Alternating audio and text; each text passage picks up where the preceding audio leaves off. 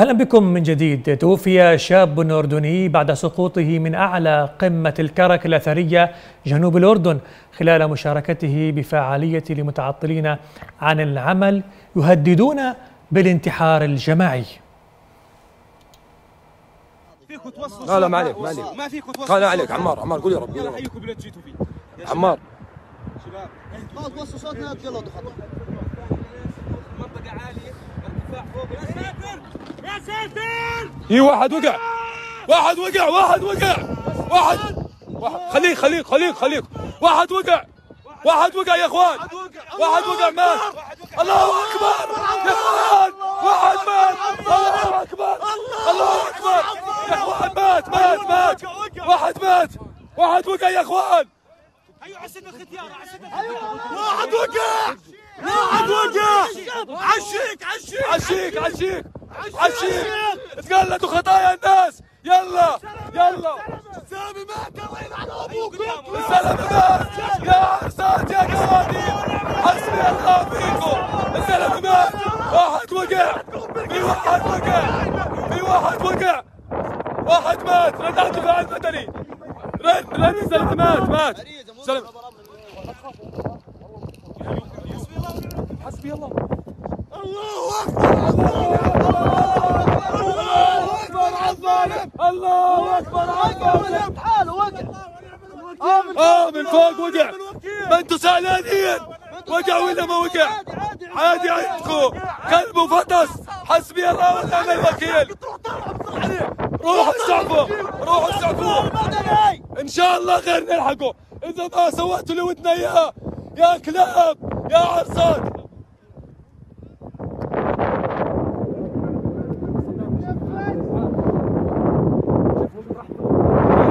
هيو عند الشيك هيو عند الشيك معين طولوه يا رجل. هي رجليه هي رجله هي رجله هي رجله هي رجله مبين يا إخوان؟ هي رجله هيو لابس بوت أسود ها. تلفون بقرب هيو مات يا إخوان الزلمه هيو ها. إخوان. راسه على الشارع نصين. راسه عش... دم دم مفقود فقد راسه. ها يا إخوان طيب. لدي يا إخوان يا رجل برد حساب لدي يا رجل. طلوا عليهم طلوا عليه افزع تناولوا لدي اللي على الشارع واقف عنده. تناولوا. يا إخوان يا اللي على البث. واحد من فوق راح. اقسم بالله العظيم قدامنا.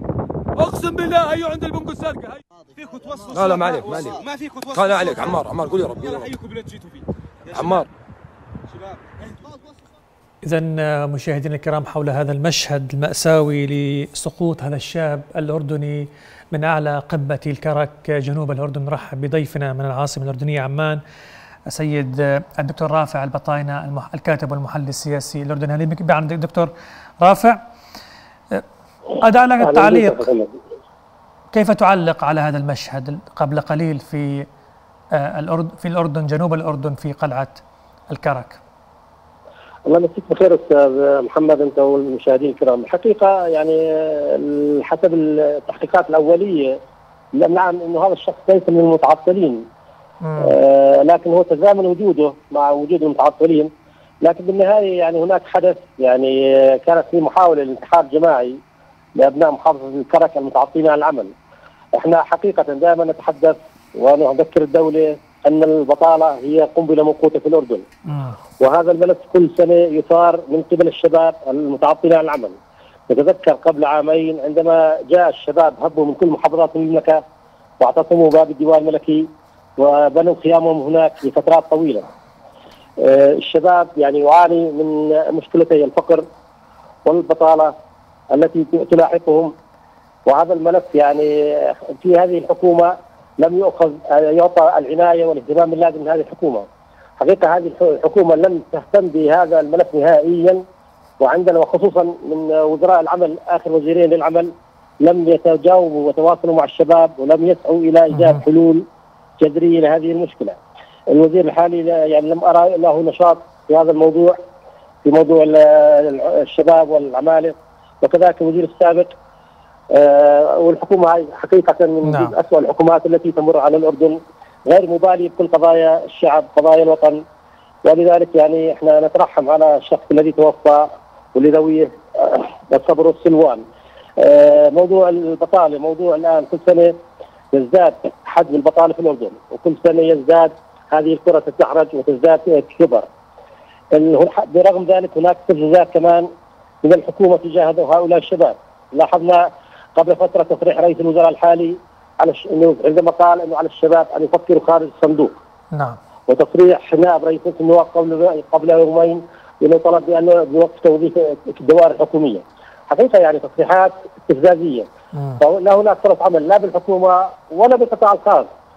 فيعني حقيقة هذا مشكلة البطالة مشكلة عصيه على طيب. حلها من قبل الحكومات المتلاحقه. إذا ما سقط هذا الشاب وهو كان مشارك وليس من الذين هم متعطلين عن العمل كما ذكرت وكما ذكرت وسائل رسمية آه، بحسب التحقيقات الأولية في هذه الحادثة دكتور رافع، لكن هناك نحو نحو 15 شابا أيضا هددوا بالانتحار آه، والاحتجاج على هذه القضية قضية المتعطلين عن العمل في الكرك. إذا ما كان هذا الشاب سقط يعني آه، من أعلى آه، سفح هذه القمة من قلعة الكرك. هناك خمسة عشر أيضا ربما يحذرون نفس الحذو. يعني هنا مسألة الانتحار في البلاد. ماذا عن هؤلاء الشباب؟ أستاذ محمد يعني هو إحنا يعني نعتبر إنه هذا الشاب هو جزء من المشكلة. م. يعني لا نعتبر إنه وقع حتى لو كان من غير متعطلين هو تزامن وجوده مع وجود هذا الشباب. وقد يكون نتضامن معهم لغاية الآن إحنا تحقيقات لم تبين. اثنين الشباب أنا عندما شاهدت الفيديو كانوا يحاولوا أن ينتحروا قبل سقوط هذا الشاب. كان في محاولة انه يعني محاوله الانتحار. وليست هذه المحاولة الأولى. كل كل فترة زمنية عندنا محاولات كثيرة للشباب للانتحار. هناك يعني شبه اسبوعي عندنا محاولات انتحار للشباب وعندنا محاولات اعتصام وحركات شبابية نعم. في معظم محافظات المملكة. هذا الملف كل أسبوع يفتح كل أسبوع يثار وهناك يعني آه، مبادرات وتفنن في قضايا طرح قضايا هذا الشباب في طرح قضايا مثل البطالة وتسليط الضوء عليها. يعني ليس هناك محاولات انتحار هناك محاولات احلال اقتحام لبعض الدوائر الحكومية محاولات لطرد الدواء المسؤولين عند زياراتهم للمحافظات من وزراء طيب آه، ربما يلام هؤلاء الشبان على هذا على هذا السلوك ويعني التواجد في هذه المنطقة المرتفعة آه، دكتور رافع لكن ماذا عن الحلول؟ ماذا عن الحلول؟ ما الذي يمكن القيام به لعدم آه، يعني خسارة الأردن شبابه؟ نعم يعني حقيقة وعلى الرغم إنه يعني هناك اهتمام ملكي واهتمام دولي بهذا الشباب وخصوصا لاحظنا بمخرجات اللجنه الملكية ركزت على موضوع تمكين الشباب.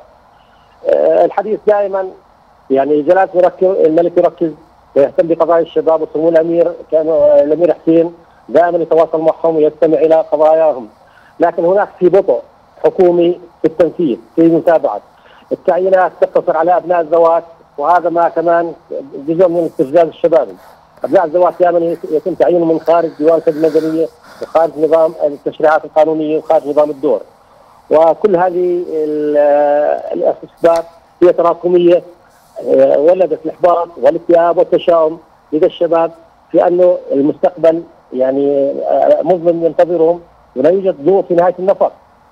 يعني سنويا عندنا آلاف الخريجين. ويتراكم بطالة فوق بطالة وخصوصا بعد جائحة كورونا كمان زادت طين بله نعم وزادت مشكلة أكثر ومحاولة الكثير من المؤسسات في التخلص من هذه العمالة ما الحلول ما الحلول دكتور رافع؟ يا سيدي الحلول هو لابد من اولا جذب الاستثمارات والتوسع في تشجيع الاستثمارات. اثنين توزيع التنمية على المحافظات. البطالة والفقر هي منتشرة في المحافظات النائية للحزام الداري للأردن. محافظات زي الكراك والطفيله، معان، محافظات يعني مادبه، المفرق، هاي المحافظات يعني المشاريع التنمويه لم تصل وتاخذ حق حقها من هاي المشاريع التنمويه والاستثمارية. كل المشاريع الاستثماريه والتنميه تتركز في عمان. ولذلك ما في توزيع لهذه المشاريع التنمويه ولمشاريع الاستثمارات وإقامة المصانع والاستثمارات في هذه المحافظات يعني يعني تقصد هناك حلول لكن هناك مسألة توزيع. يعني هذه الحلول أو هذه بالفعل الأعمال آه، للحكومة والإجراءات ومسائل الإصلاح في البلاد. هل هذا ما نعم تريد نعم قوله دكتور رافع؟ أكيد يعني هنا يعني هناك تراخي زي ما حكيت تباطؤ وعدم لا مبالاة في التعامل مع الملف بكل جدية. وإيجاد حلول حقيقية على أرض الواقع. والتواصل مع هؤلاء الشباب.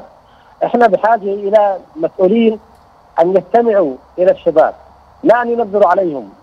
نتحدث كل سنة عن خطط اقتصادية وعن خطط لمواجهة ولكن لا يوجد تنفيذ تنفيذ نتحدث عن العدالة والمساواة في التعيينات ونتفاجأ كل يوم هناك تعيينات من خارج النظام الخدمة المدنية لأبناء الذوات. عوامل كثيرة هي تؤدي إلى آه، استفزاز الشباب وتولد نوع من الإحباط. خريجي الجامعات التركيز على نوعية التعليم يجب أن نتوسع في التعليم المهني والتعليم التقني. هناك أستاذ محمد يعني الآن مثلا التكنولوجيا كثير حدث من التعيينات. لو نأخذ مثلا جانب المحاسبين الان كل المحاسبين في الدوائر الحكومية بدأوا يتقلص هذا الشاغل الوظيفي. صار في مطالبه المحاسبين ليش؟ لأنه كل هذا الدفع عن طريق اي فواتيركم وعن طريق الأونلاين. وهذا يعني قلص كثير من الدوائر الحكومية بلشت تتخلص من الكادر الوظيفي لها بسبب كمان الركود الاقتصادي، تراجع النمو الاقتصادي، آه، جائحة كورونا والحجر اللي صار حوالي اشهر طويلة سببت كلها تراكمات يعني سلبية تجاه الاقتصاد وتجاه الإنتاجية.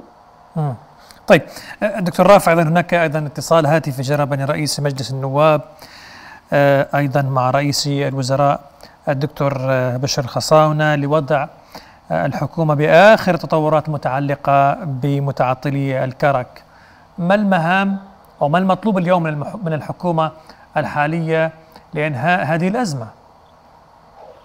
على الحكومة أن تكون جادة وصادقة في التعامل مع هذا الملف. لاحظنا خلال سنة تغير وزراء عمل اثنين في هذه الحكومة. اثنين تغير آه، وزراء وزراء اثنين أو ثلاثة إلى الاستثمار. ما في تلبك في تخبط في هذه الحكومة في التعامل مع هذا الملف وزاره العمل والاستثمار يعني مكملات بعضهم ولاحظنا يوم عندما استقال آه، وزير العمل السابق اللي هو معالي القطمين احتجاجا على سحب وزارة الاستثمار منه. الشؤون الاستثماريه الرجل كان عنده رؤية وكان عنده توجه نحو إيجاد حلول جذرية وجود حلول عملية. لكن تم يعني سحب منه حقيبة الاستثمار وبالتالي قام بالاستقالة. وتزامن كذلك استقالة رئيس الاستثمار في تلك الفترة الدكتور خالد الوزني. يعني الحكومة هاي زي ما حكيت لك من اسوء الحكومات التي نعم. قدمت إلى الأردن وهناك استياء شعبي وفي أدنى مستويات الشعبية الآن يعني الحكومة حسب الاستطلاعات الرأي العام واستطلاعات وراء الشركات في أدنى طيب. مستوياتها الشعبية لدى الشارع الأردني لأنه ما في يعني ولا ملف تم التعامل معه وقامت بايجاد الحلول له لاحظنا ازمه كورونا بلشت التصاعد بين الأصابات والوفيات بعد ما تم السيطرة هذه الفترة البطالة نفس الشيء الفقر وما مشكلة المياه الآن نعاني منها فمشاكل العنف الآن ازدادت في الفترة الأخيرة العنف المفضي إلى الموت هناك قضايا كثيرة آه هذه الحكومة تتعامل ببرود وزرائها ليسوا مكتبيين وليسوا ميدانيين للتعامل مع المجتمع والتواصل معهم والاستماع إلى قضاياهم ولحظات طيب. مشاكلهم. فالتعامل هو إنه نركز ونوجه الأنظار الاستثمار التنمية إلى المحافظات الدائرية الأطراف في المملكة الاردنيه الهاشمية. في عندنا العقبة يعني نعم. ما استفدنا من كل تحويل المنطقة الاقصى الاقتصادي ما استفدنا منها شيء. لاستيعاب عدد كبير من البطالة. طيب. يعني حتى شباب العقبة يعانوا من البطالة. يعني بحاجة إلى دراسة طيب. آه، حقيقية للمشكلة والحلول ويبدأ بتنفيذها فعليا المشكلة تيجي حكومة بتضع دراسة مقترحات حلول تيجي حكومة طيب. تنسف ما وضعوا دكتور رافع باختصار لو سمحت ماذا تقول لهؤلاء الشباب الذين هم يهددون بالانتحار؟ باختصار لو سمحت. إحنا يعني أنا أقول على الشباب الصبر يعني و يعني الانسان يعني الانتحار ليس حل. الانتحار ليس حل يعني. لا بالدين يعني يشجع يسمح يعني دينيا حرام وكذلك يعني من ناحية انسانيا كمان لا يجوز. فأنت تنتحر في لا برضه الشباب عليهم أن يكون عندهم مبادرات ذاتية إيجاد يعني مشاريع عمل صغيرة لهم مشاريع اللي الان يستغلوها للعمل بحين إيجاد يعني وظائف للمستقبل إن شاء الله أما أنا لا أشجع الانتحار والانتحار هو يعني حالة إفلاس يعني طيب. فكري وحالة احباط لا نشجع عليه لا دينيا ولا اجتماعيا ولا انسانيا يعني فعلى الشباب نعم. التحمل والصبر وإن شاء الله يعني المستقبل يكون أفضل أدعوك أن تبقى معي آه، دكتور رافع آه، بعد الفاصل سنناقش معك وأيضا مع ضيفنا السيد محمد أبو سند آه، عضو ملتقى أبناء الأردن في المهجر. مسألة أخرى ومحور آخر توقيع اتفاق بين الأردن والاحتلال الإسرائيلي وهو سمي بإعلان نوايا لتبادل المياه بالطاقة لكن بعد الفاصل.